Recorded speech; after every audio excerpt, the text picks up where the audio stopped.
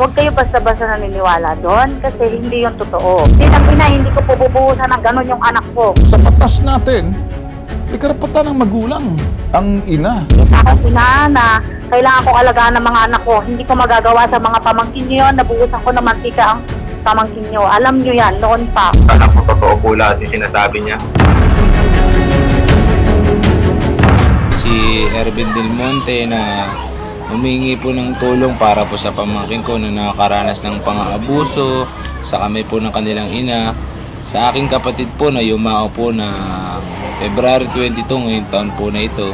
Namisahe po sa akin yung concerned citizen nung nakarang araw lang po na gusto nila i-rescue po namin yung bata eh nasa Baguio po ito.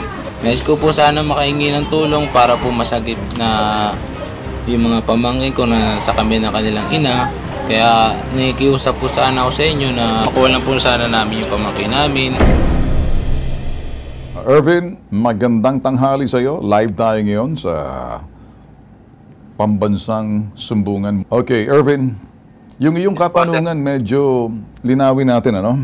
Gusto ninyo makuha yung mga pamangkin ninyo sa well, sa ina ng mga bata na sister-in-law ninyo, tama?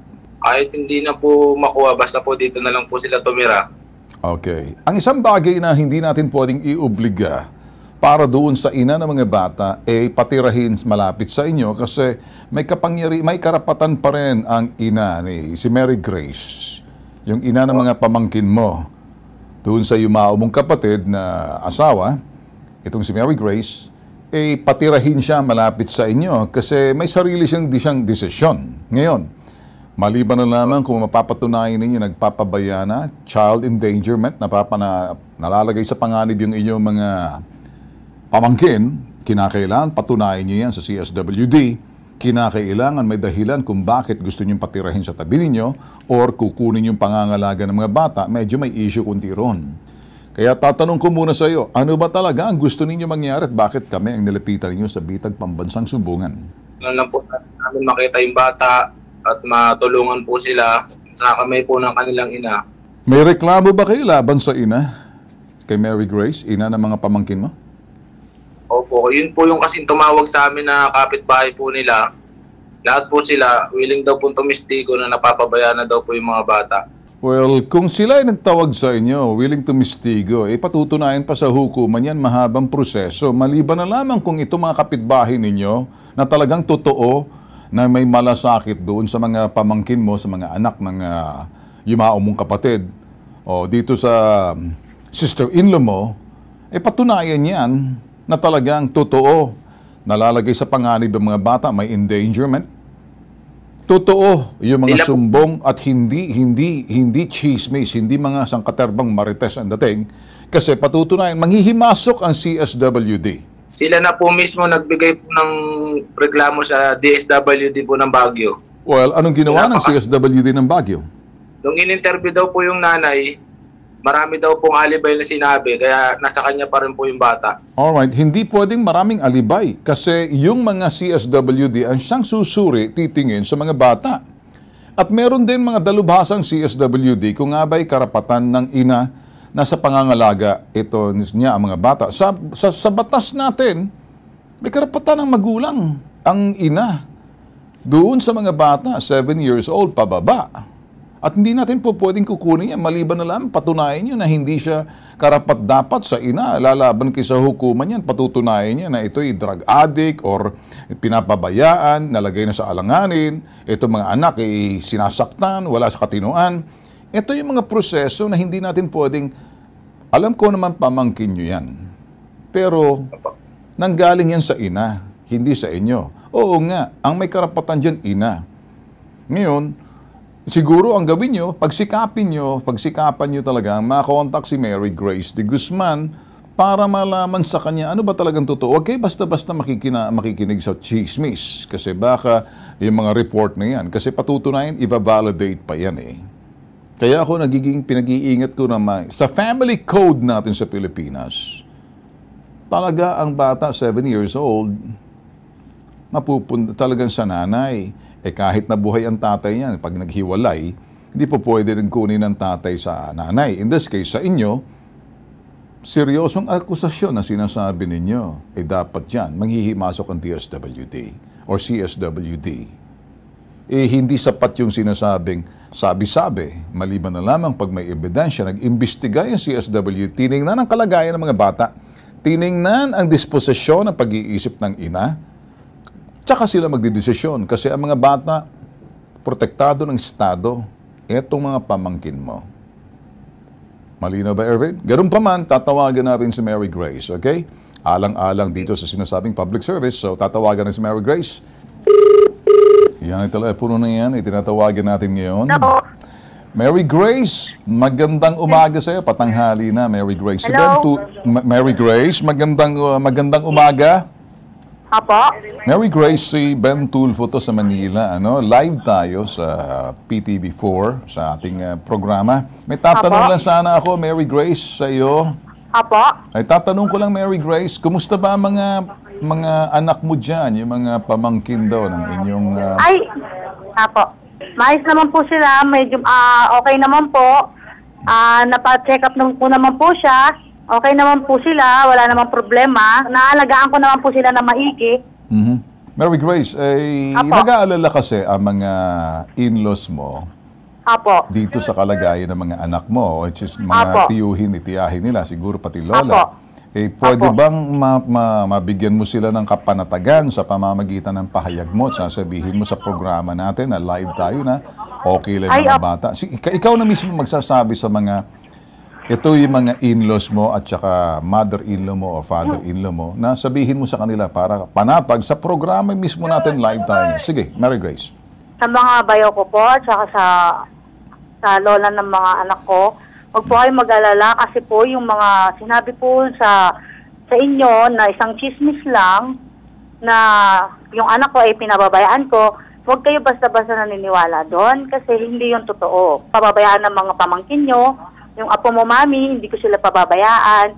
Nasa maganda silang kalagayan sa akin, lalo na ahawak kami ng DSWD kaya hindi sila mapapano sa akin.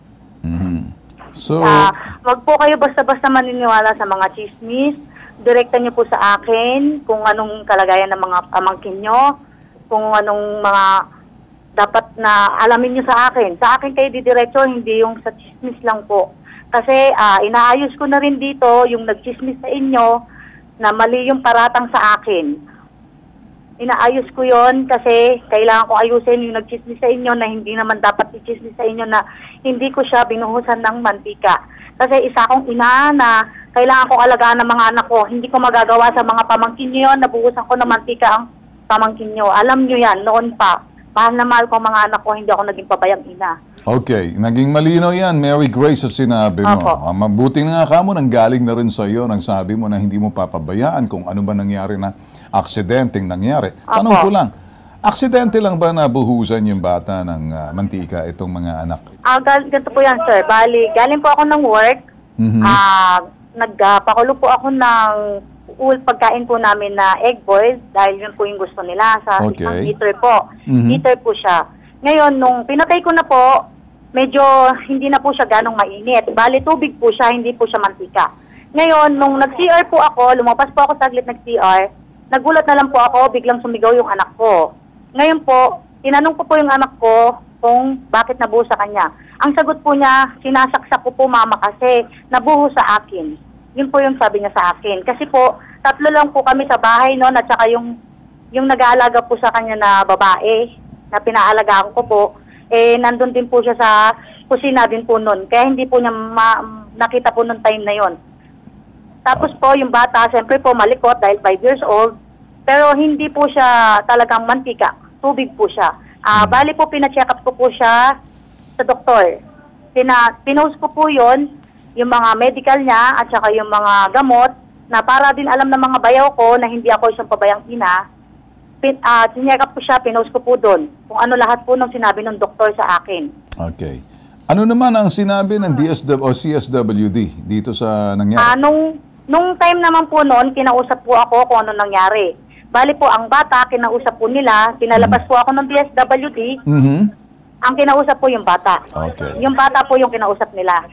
Kasi po, ah, hawak po ako ng DSWD dahil solo parent po ako. Alright. Parang sinabi, parang si- gusto mong sabihin, nag-imbestiga ang DSWD kung anong tunay na pangyayari na pinalabas ka at yung anak mong Apo. tinanong. Tama? Apo, apo. Satisfied tama po. naman ang CSWD na marinig nila yung pahayag ng bata. Apo, apo. Hmm. Kabay may trabaho, Mary Grace? Ah, bali meron po. Ano ang... Sa isang kantin po sa restaurant po. Alright. Parang Apo. working mom ka rin at uh, Apo, tumutulong. working mom. Kumusta naman ang ano, kita mo riyan? Kumusta naman ang buhay-buhay? Ah, okay naman po yung kita kahit pa paano po nakakaraos po. Ervin, ano ang gusto mong tanungin kay Mary Grace? Kasi maganda, nagkakaliwanagan tayo rito. Kaya napakahalaga ng tinawagan ko si Mary Grace para maiwasan na yung mga marites na chismosa, chismoso, dito diretso narinig. Tsaka isa pa rito, as sa pag, ah, pag ah, pangangalaga ng DSWD, sinisilip ang kalagayan ng mga bata at tumutulong sa ina at ang ina nagsusumikap magtrabaho para kumita, wala akong makitang masama. Unless kung meron kang gustong sabihin, Irvin, sabihin mo na ngayon. Ganyan si Mary Grace. Ah, wala na po ako masasabi po. Magpapasalamat na lang po. Sana po totoo po lahat yung sinasabi niya. Ah, pwede ko po ba siya makausap, sir? Sige, kausapin mo. Pwede. Sige, ikaw Ah, narinig ka. Ervin, ah, kung tutuusin, alam mo yan, simula noon, mahal na mahal ko mga pamangkin mo. Ah, sa akin lang naman sana, huwag kang maniwala doon sa mga chismis, pero huwag kang mag-alala. Yung nag-text sa'yo na babae na nag-chismis sa'yo, huwag kang mag-alala. Inaayos ko ngayon dahil yung boss kong pulis, siya mismo din na nagsabi na ituloy ko yung kaso sa kanya dahil maling-mali yung ginawa niya sa akin. Nako. Kaya huwag kayong mag-alala. Dito, dinidimanda ko yung babae. Patay. Inireklamo ko yung babae na nagchismis sa'yo, Alright. na nagparatang sa'yo. Kasi hindi ko rin gusto dahil ako bilang ina ng, ng mga pamangkin mo, simula nung nawala yung kapatid mo, yung kuya mo, eh hindi ko talaga pinabayaan ng mga pamangkin mo. Nakita mo naman, maski magkano hindi ako nang hingi, hanggat kaya ko, kakayanin ko, Okay, sige. Uh, Mervin, uh, Irvin, nandyan bang nanay mo? Nandyan bang uh, mga lola na may tinatanungan ka siguro? Baka mas magandang, sige na, eh, tumutulong ako sa inyo para maayos na tong gusot na to. At dahil sa chismosa na dinidemanda nga ng cyber libel nitong si Mary Grace, yari yun sa pagdadala ng mga chismis na hindi totoo. Mhm. So ngayon, um, ano pang gusto mo sabihin, Merv- uh, Irvin? Uh, medyo nagdududa ka nga. Sabi mo, sana nga, May sinend po kasi sa amin na video yung sinasabi niya ng kapitbahay niya. Kaya po naaawa yung lola ko sa mga apo niya. Mhm. May DSWD naman, Irvin, na pumunta roon para nag-imbestiga pa nga. Tiningnan, eh hindi naman siguro pabaya yung DSWD. Sino ba papaniwala mo? DSWD, yung mga chismosa nagpadala ng litrato sa'yo. Salamat po pa sa DSWD po. Alright. Sa DSWD ka magpapasalamat kasi una sa lahat gusto kong sabihin sa Irvin. Ang mga kabataan natin, mga batang kaparehong paslit niyan, protektado ng Estado, protektado ng pamahalaan, kaya may DSWD, tingnan ang kapakanan nila. Partikular yung mga paslit, kapareho nito. In this case, balo na tong sister-in-law mo, namatay ng kapatid mo, pero tuloy pa rin ang pagsusumikap niya matustusan ang pangangailangan ng mga anak mga anak niya, ah, mga pamangkin mo. Siguro ah, Mary Grace balang araw ah, magkakaroon ng pagkakataon na bisitahin nyo na rin sa may- medyo pag ready ka na bisitahin mo ang iyong mga in-laws or yung mga lola Apo, para apo. makita naman ang kalagayan ng mga bata. Okay? Opo, pero, opo, o ganito po kasi yan. Bali, siguro po, pag natapos na po itong December, ano, may balak naman po talaga akong magba- magpa-fashion po dyan. Mhm. Nasa ospital lang din po yung anak ng boss kong police kasi meron pong pneumonia. Ngayon po, talagang balak ko pong umuwi dyan para pumasyal po sa kanila. Ayun.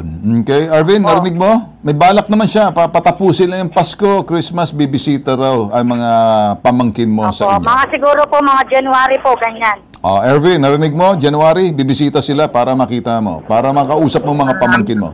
Gusto po sana namin kami po mga akit dyan sa Baguio. Hindi po, hindi po namin alam kung saan po siya pupuntahan. Ah, gusto raw pumisita sa Ay, Baguio. sige. Opo. Po. Ah, bali, dito lang po yun sa may Kiyas, ah, pak- ah, sa Kiyas Bagyo, malapit sa checkpoint sa pulis, sa mga pulis.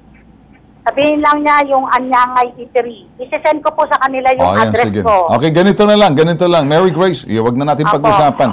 Ah, may number ka man siguro ni Ervin, isend mo na lang. Ano, wag Apo, natin i-airing, ha? Okay? Ah, sige po, Ervin, apo. okay na ba sa'yo? Yung uh, isasend yung address para kung gusto niyo bisitahan, anytime po pwede kayong bumisita. Okay po, Sir Ben. Salamat po. Walang ano man. Po pwede kayong bumisita kung gusto niyo. Sabi niya, po pwede rin siyang bumisita, pero mas binabuti niyo, makita ang kalagayan ng mga bata kung saan sila nakatira, walang problema. Sabi ni, ni Mary Grace, ibibigay niyang address. Wag sa, eh, wag sa ere. Kayo na lang mag-usap privately sa telepono. Pwede namin makuha yan para sa inyo. Maraming salamat po, Sir Ben. Walang ano man. Oh, sa iyo, Mary Grace, ako rin papasalamat din. Opo, mas okay na po yun yung nagbigyan din po siya ng linaw kasi po, hindi ko talaga pababayaan ng anak ko. Ayun. Eh, Oh, hindi, bilang ina, hindi ko po bubuhusan ng ganun yung anak ko. okay. Sige. Opo. Malinaw, Mary Grace. Okay na sa Opo, akin. Ha? salamat Ingat, po. ha? Maraming salamat din po. Opo, Alright. salamat Ervin, din po. God okay na bless sa'yo, po. Ingat po.